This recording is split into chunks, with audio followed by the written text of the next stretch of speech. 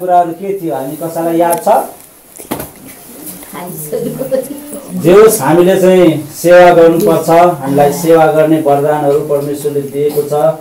जस्तो जानेका छौँ त्यो काम हामीले अरूको गरेर सेवा गर्नुपर्छ भनेर चाहिँ हामीले हेरेका थियौँ भनेदेखि। अब आज चाहिँ साँच्चै हामी के कुरा हेर्नेछौँ भनेदेखि हामी सबैजनालाई अथवा हामीले देखेका र नदेखेका सबै थोकहरूलाई परमेश्वरले सृष्टि गर्नुभएको हो। त्यसकारण परमेश्वरले बनाउनु भएको हो त्यसकारण परमेश्वरले बनाएका चिजहरूको परमेश्वरलाई माया लाग्छ। हामीले बनाएका कुराहरू पनि हामीलाई माया लाग्छ। भनेदेखि हाम्रो परमेश्वरलाई माया नलाग्ने त कोही छैन त्यसकारण उहाँले सृष्टि गरेका जेसुकै कुरा पनि बिग्रोस् भन्ने कुरा परमेश्वर चाहनुहुन्न। त्यसकारण ती सबै कुराको संरक्षण गर्न त्यस सबैको चाहिँ हिफाजत गर्न परमेश्वर धेरै चिन्ता र फिक्री लिइराख्नु भएको छ र आफ्ना कुराहरूको माया र वास्ता गरिराख्नु भएको छ। जसरी हामीले आफ्ना सन्तानहरू आफ्ना धन सम्पत्तिहरू आफ्ना घर खेतहरू हाम्रा सारा कुराहरू हामी जोगाइराख्छौँ र त्यसलाई संरक्षण गर्छौँ। त्यसै गरिकन परमेश्वरले पनि हाम्रो पनि उहाँले हेरविचार गरिराख्नु भएको छ हेरिरहेको छ अनि हामी नष्ट भएको हामी बिग्रिएको परमेश्वर कहिले पनि चाहनुहुन्न। त्यसकारण यी हामी सबै पापी मानिसहरूलाई बचाउनको लागि परमेश्वरले एउटा उपाय गर्नुभएको थियो। त्यो उपाय चाहिँ के त भन्दाखेरि यीशु ख्रिस्टद्वारा सबै मानिसहरू परमेश्वर कहाँ आउन सकुन् र म कहाँ आउन सकुन् भनेर चाहिँ परमेश्वरले एउटा सरल उपाय बनाइदिएको छ। तर मानिसहरूले परमेश्वर कहाँ जानको लागि आफ्नै बाटोहरू बनाइरहेका छन्। किनभने हामीले बनाएको बाटोले हामी परमेश्वर जान सक्दैनौँ। किनभने परमेश्वरको जाने होइन अथवा स्वर्ग जाने बाटो चाहिँ उहाँले नै बनाउनु भएको छ।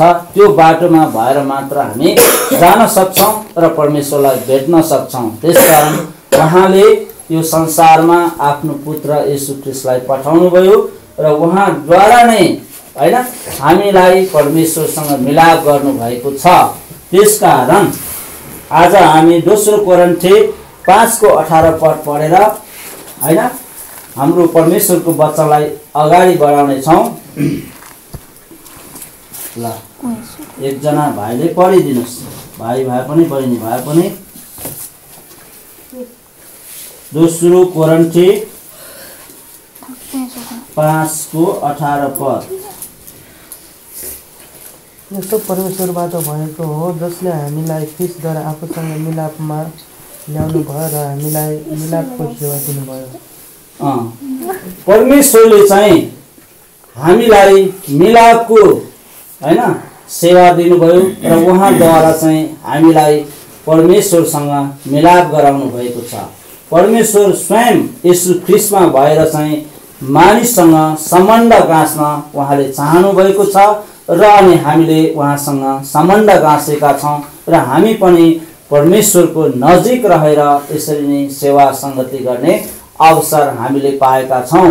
कतिजना मानिसहरूले परमेश्वरसँग सेवा सङ्गति गर्न नपाएको कारण उहाँलाई नचिनेको कारण उनीहरू परमेश्वर खोज्न कहाँ कहाँ गइरहेका छन्? उनीहरू परमेश्वरलाई नचिनेर उनीहरूले पहाडलाई पुजिरहेका छन् गाई भैँसीलाई पुजिरहेका छन् कारलाई पुजिरहेका छन् ढुङ्गालाई पुजिरहेका छन् ती सबै कुरा त परमेश्वरले बनाउनु भएको सृष्टि ठोक मात्र हो।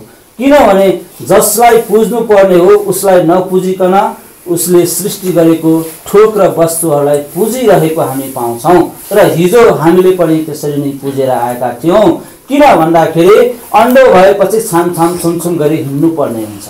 जब जस जसले आँखा देखेको छ ऊ सिधा हिँड्छ। किन?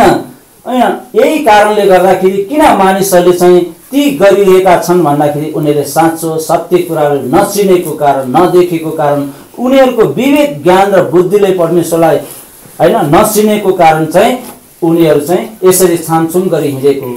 जसलाई पायो त्यसलाई भगवान् भन्थे होइन?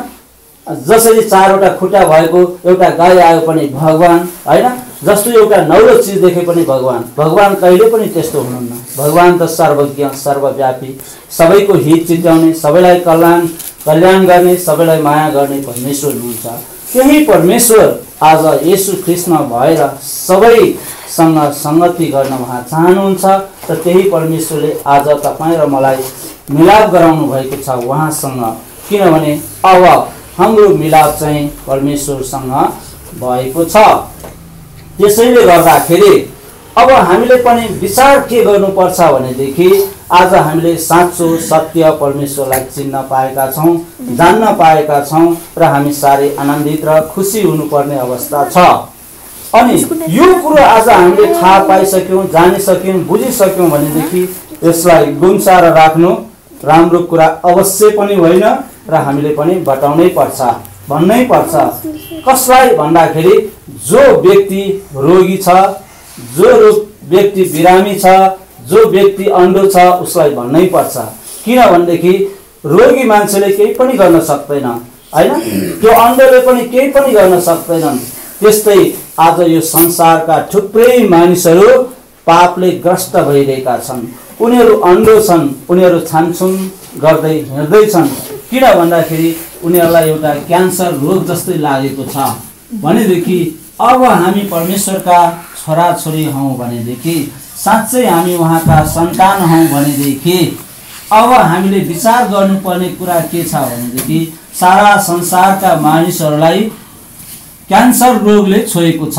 क्यान्सर रोगले के गर्छ भन्दाखेरि त्यसको औषधि छैन त्यसको होइन त्यो मान्छे क्यान्सर लागेपछि चाँडै नै मृत्यु हुन्छ। त्यसकारण त्यसलाई बचाउनको लागि औषधि तयार भइसक्यो भनेदेखि त्यो औषधिलाई चाहिँ लुकाएर राख्नु चाहिँ होइन? जसले त्यो औषधिलाई लुकाएर राख्छ त्यो मान्छे राम्रो हुन्छ कि नराम्रो हुन्छ? किनभने रोगी मान्छेलाई त क्यान्सर औषधि पाएपछि त लुकाएर राख्ने मान्छे त अपराधी हुन्छ पापी हुन्छ त्यो त अज्ञानी हुन्छ। त्यसकारण जसले त्यो रोगको औषधि पत्ता लगाएको छ त्यसले चाहिँ बिरामी थाहा पाएपछि उसलाई दिनै पर्छ हो कि होइन भनेदेखि अब कुरो आयो के त भन्दाखेरि संसारका थुप्रै मानिसहरूले अझै पनि परमेश्वरलाई चिनेका छैनन्। उनीहरूलाई क्यान्सर रोग लागेको छ। उनीहरू झन् झन् नष्ट हुँदैछन्। त्यो क्यान्सर रोगले जसरी मान्छेलाई गाल्दैछन् मृत्यु नजिक ल्याउँदैछन् त्यसै गरी उनीहरूको त्यो क्रियाकलापले गर्दाखेरि उनीहरू चाहिँ झन् झन् दुःख कष्ट यातना उनीहरूले भोगिरहेका छन्। किनभने भर्मे परमेश्वरलाई खोजी गर्दा गर्दै उनीहरू थाकिसकेका छन् र उनीहरूले उद्धार मुक्ति पाएका छैनन् र उनीहरूको आफ्नै प्रयास र कोसिसले कोही पनि मानिस परमेश्वरको राज्यमा पुग्नै सक्दैन परमेश्वरको घरमा पुग्नै सक्दैनन्। जबसम्म उहाँले डाक्नुहुन्न जबसम्म उहाँले आफ्नो ढोका खोल्नुहुन्न त्यति बेलासम्म त्यो मानिस बाहिर नै बसिरहनु पर्ने हुन्छ।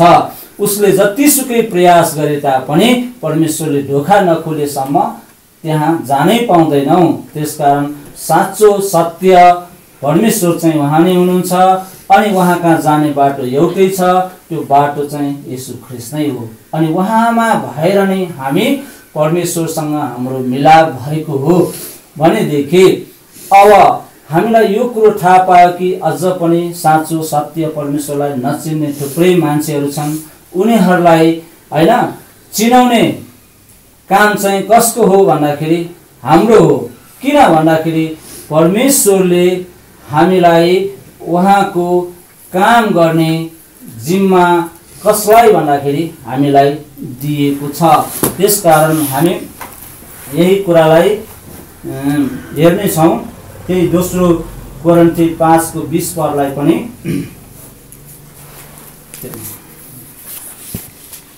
दोस्रो कोरन्ती पाँचको बिस पर यस कारण हामी ख्रिस क्रिस्टका राजदूतहरू हौँ र परमेश्वरको परमेश्वरले हामीद्वारा अनुरोध गरिरहनु भएको छ क्रिस्टकै पक्षमा हामी तिमीहरूलाई बिन्ती गर्दछौँ कि तिमीहरू परमेश्वरसँग मिलापमा आओ हुँ।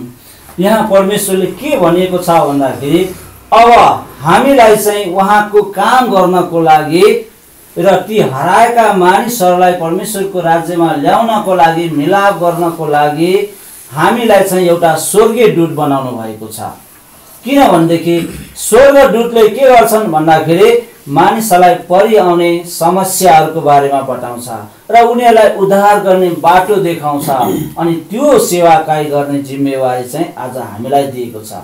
त्यसकारण आज साँच्चै हामी परमेश्वरको दूत भएर के हामी उहाँको काम गर्न चाहन्छौँ?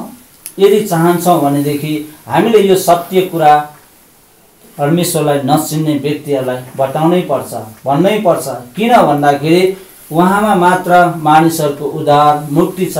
यो संसारमा अरू जुनै सुकै काम गरे तापनि जतिसुकै धर्म गरे तापनि जतिसुकै रुपियाँ पैसा भए तापनि कोही पनि मानिस त्यो ठाउँमा जानै सक्दैन। किनभने त्यो ठाउँ परमेश्वरको हो। उहाँले जबसम्म होइन त्यो ढोका खोल्नुहुन्न तबसम्म उहाँ जानै पाउँदैनन्। जतिसुकै पैसा खर्च गरे पनि त्यो ठाउँमा जानै सक्दैनन्। किनभने हाम्रो राजी खुसी बल शक्तिले जान पाइने ठाउँ चाहिँ होइन। त्यसकारण त्यहाँ जानको लागि उहाँले राख्नु भएको बाटैबाट भएर जानुपर्छ। यदि कोही व्यक्ति झालबाट छिर्यो भनेदेखि त्यसलाई चोर भनेर त्यहाँबाट खसालिदिनेछन् निकालिदिनेछन् त्यसकारण हामी परमेश्वरकै ढोका भएर हामी उहाँ कहाँ जानुपर्छ। त्यसकारण भनेको छ हामी प्रेरित चारको बाट बाह्र पदलाई पढौँ। त्यहाँ के कुरो लेखेको छ भनेदेखि मानिसहरूको उद्धार मुक्ति यीशु ख्रिस्टमा मात्र छ त्यसबाहेक अन्त छँदै छैनन् र उहाँ जाने बाटो चाहिँ त्यही नै हो। हामी त्यहीँबाट भएर जानुपर्छ। त्यसकारण हामीले यी सबै कुराहरू थाहा पाएर पनि मानिसहरूलाई हामीले बताएनौँ भनेदेखि अघि हामीले क्यान्सरको रोगको औषधि लुकाएर राखे जस्तै मात्र हुन्छ। किनभने हामी असल मान्छे त अवश्य पनि होइनौँ भन्ने कुरा चाहिँ हामीले जान्नुपर्छ। यस खण्डलाई पनि पढिहालौँ। अरू कसैमा मुक्ति छैन किनकि हामीले मुक्ति पाउनलाई स्वर्गमुनि मानिसहरूमा मानिसहरूमा अर्को कुनै नाउँ दिएको छैन। ल हेर त कुनैमा पनि मुक्ति छैन उद्धार छैन। स्वर्ग मुनि यो पृथ्वीमा त्यसो भएको कारण मुक्ति चाहिँ उद्धार यसु ख्रिस्टमा मात्र छ परमेश्वरमा मात्र भएको कारण हामीले यो कुरा चाहिँ मानिसहरूलाई बताउनै पर्छ भन्नै पर्छ। यो जिम्मेवारी हाम्रै हो किनभने उहाँले हामीद्वारा उहाँले यो काम गर्न चाहनुहुन्छ। उहाँ कोही पनि आफूले सृष्टि गरेका मानिसहरू नष्ट भएको चाहनुहुन्न। ती मानिसहरूलाई बताउने बुझाउने जिम्मेवारी चाहिँ हामीमा भएर उहाँले काम गर्नुहुन्छ। किनभने परमेश्वर हामीमा भएर काम गर्ने व्यक्ति हुनुहुन्छ। उहाँ पवित्र आत्मा हुनुहुन्छ। त्यसो भएको कारण ती मानिसहरू मरेको हामी पनि चाहँदैनौँ। किनभने संसारमा रहेका थुप्रै मानिसहरूले अझै पनि पाप गरिरहेका छन् अधर्म गरिरहेका छन्। उनीहरू आफूलाई भयो भने अर्काको चिन्तै गर्दैनन्। अर्काको केही वास्तै गर्दैनन्। किनभने परमेश्वरले कहिले पनि त्यसो गर्नु भएन। परमेश्वरले सबैको हित चिताउनुभयो सबैको कल्याण गर्नुभयो र ती मानिसहरूलाई पनि जोगाउन बचाउनको लागि उहाँले आफ्नो प्रयास र कोसिसहरू गरिरहनु भएको छ। ती मानिसहरूलाई अब बताउने बुझाउने सिकाउने काम चाहिँ हाम्रै हो अनि सेवा गर्ने भनेको यही नै हो। अब चाहिँ हामी परमेश्वरका दुध भएर चाहिँ काम गर्न कि हामी राजी छौँ? साँच्चै परमेश्वरले आफ्नो काम गर्नको लागि हामीलाई दुध बनाउनु भएको छ। त्यसकारण हामी दुध भएर अब जाने हो भनेदेखि साँच्चै हामी परमेश्वरका छोराछोरी आज्ञाकारी भएका हौँ। यदि हामीले यो कुरालाई मानेनौँ भनेदेखि के भन्नुहुन्छ हामी एकचोटि इजेकेलको पुस्तकलाई हेरौँ। इजेकेल तिनको अठार। त्यो एकजना व्यक्ति थियो त्यसलाई परमेश्वरले यसरी भन्नुभयो अनि त्यस्तै आज तपाईँ र हामीलाई पनि उहाँले भनिरहनु भएको छ। इजेकेल तिनको अठार पद। ल उजलले भेटाएको हो।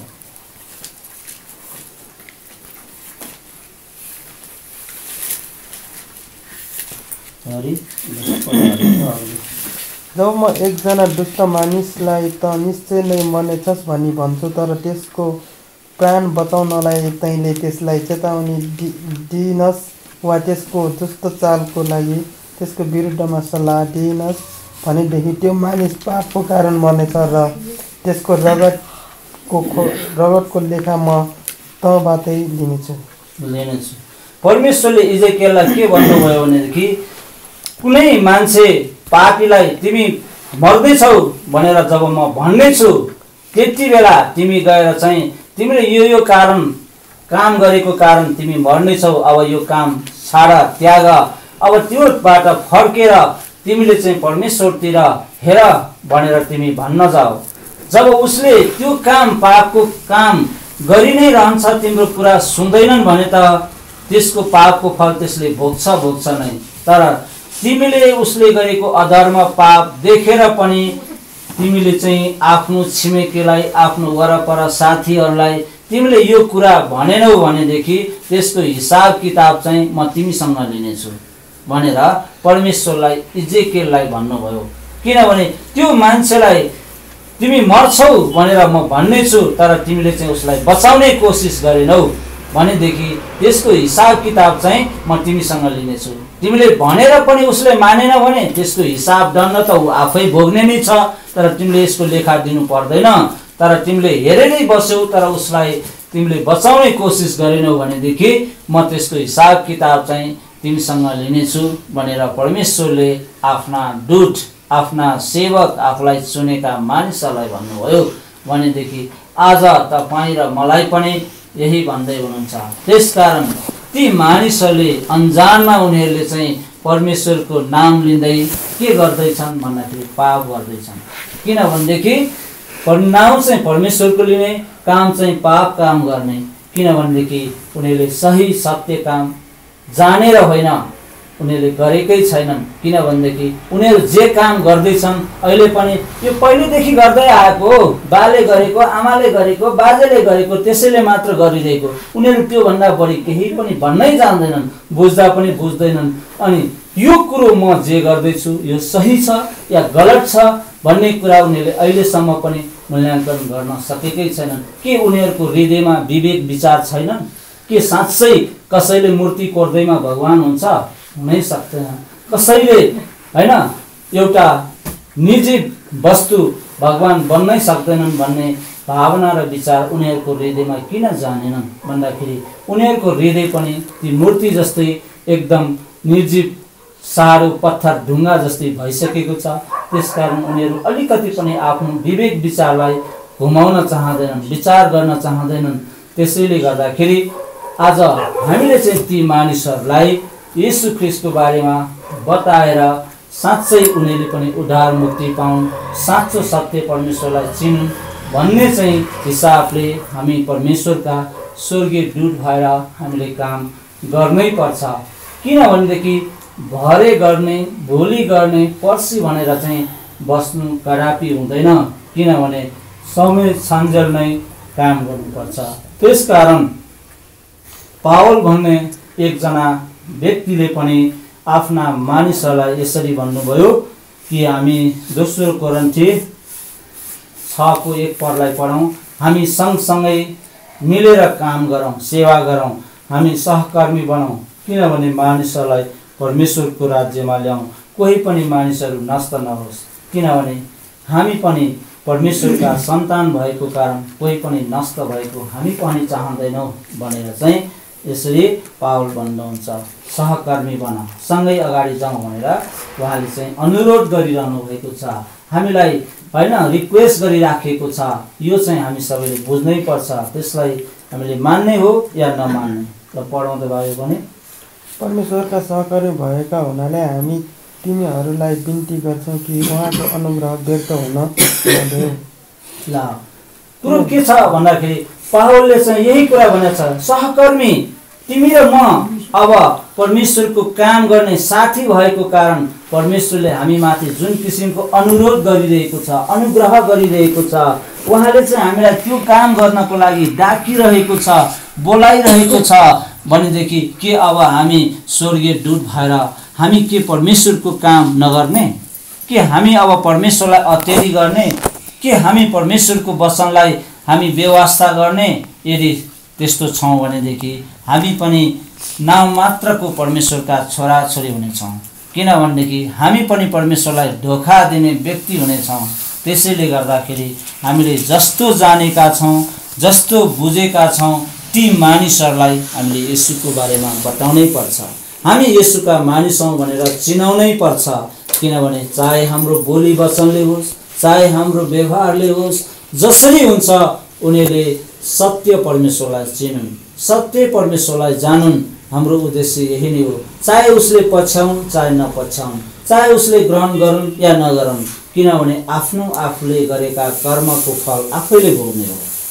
किनभने कसैले पनि अर्काको पाप भोग्दैनन् र कसैलाई पनि हामी टार्न सक्दैनौँ किनभने टर्ने नटर्ने कुरा आफ्नै हो। कसैले यदि पेट भर्नु छ भने ऊ आफैले खानुपर्छ। हाम्रो काम पकाइदिने हो। खाने नखाने काम उसैको हो। त्यसकारण हामी सबैले परमेश्वरको सेवा गर्नको लागि उहाँले हामीलाई भएको छ हामीलाई भनिरहनु भएको छ।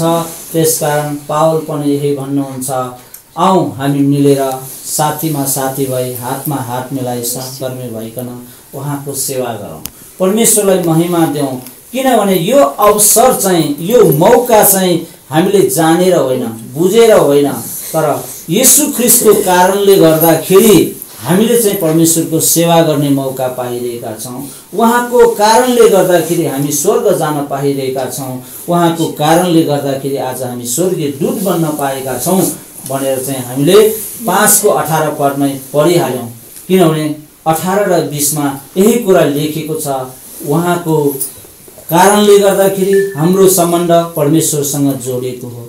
उहाँले गर्दाखेरि हामीले परमेश्वरका दूत भएर काम गर्ने अवसर पाएका हौँ अनि पावलले पनि यही भन्नुहुन्छ अब हामी मिलेर उहाँको सेवा गरौँ। किनभनेदेखि हामी परमेश्वरको वचनलाई हामी पालन गरौँ भनेर उहाँले भन्नुहुन्छ। त्यसकारण अर्को ठाउँमा हामी अर्को यहुन्नाले पनि भनेका कुराहरूलाई सुन्नेछौँ। यहुन्ना नौको चार पदलाई पढेर आजको वचनलाई हामी अन्त गर्नेछौँ। सुसमाचार यहुन्ना नौको चार पद। मलाई पठाउनु हुने पठाउनु हुनेका कामहरू हामीले दिन छँदै दिन छँदै गर्नुपर्छ। रात आउँछ जब कसैले काम गर्न सक्दैन। ल। यहाँ चाहिँ यहुनाले के भन्यो भन्दाखेरि मलाई पठाउनु हुनेको काम मैले दिन छँदै गर्नुपर्छ। रात परेपछि गर्न पाइँदैन गर्न सक्दैनन्।